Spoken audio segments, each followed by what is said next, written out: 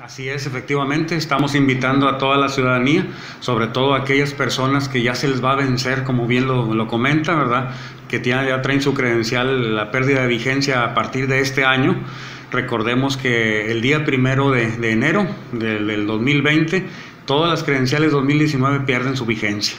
Entonces estamos invitando a la ciudadanía que aproveche precisamente este periodo en donde todavía los niños no entran a la escuela pues para que hagan su trámite correspondiente. Recuerden que son tres requisitos indispensables para tramitar la credencial. El primero de ellos es llevar una credencial con fotografía, ¿verdad? Que esté vigente.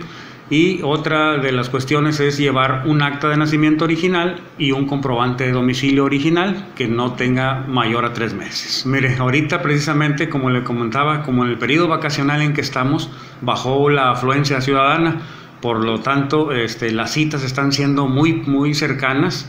Eh, es decir, que si el ciudadano ahorita llama ¿verdad? para pedir su cita, en menos de cinco días ya tiene este, habilitada la, la, cita para que acuda al módulo y haga su trámite.